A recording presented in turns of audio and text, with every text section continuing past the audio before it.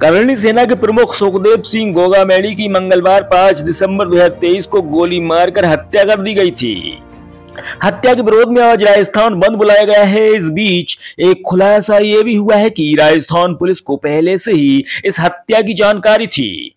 बताया जा रहा है कि पंजाब पुलिस ने हत्या होने के सात महीने पहले ही राजस्थान पुलिस को हत्या की साजिश रचे जाने के लिखित इनपुट भेज दिए गए थे। पंजाब पुलिस ने राजस्थान पुलिस को पहले ही अलर्ट कर दिया था कि भटिंडा जेल में बंद लॉरेंस बिश्नोई गैंग का गैंगस्टर संपत निहार उसकी हत्या की साजिश रच रहा है।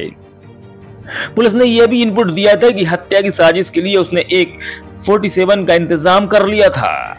बता दें कि सुखदेव सिंह गोगामेड़ी की हत्या करने के बाद रोहित गोदरा ने फेसबुक पर हत्या की ज़िम्मेदारी ली है। बता दें कि डीजीपी के अनुसार आरोपियों की तलाश के लिए पुलिस द्वारा सख्त नाकेबंदी कर संभावित ठिकानों पर दबिश दी जा रही है। उन्होंने लोगों से धैर्य और शांति बनाए रखने की अपील करते हुए पुलिस को विशेष सतर्कता बरतने हुए सुरक्षा बढ़ाने के निर्देश दिए हैं। उन्होंने बताया कि इस घटना को रोहित गोदरा गैंग ने ज़िम्मेदारी ली है। इसको ध्यान में रखते हुए पड़ोसी जिलों और बीकानेर संभाग में भी बदमाशों के संपर्क वाले लोगों को चिन्हित कर लगातार दबिश दी जा रही है और जल्द ही आरोपियों को गिरफ़्तार कर लिया जाएगा।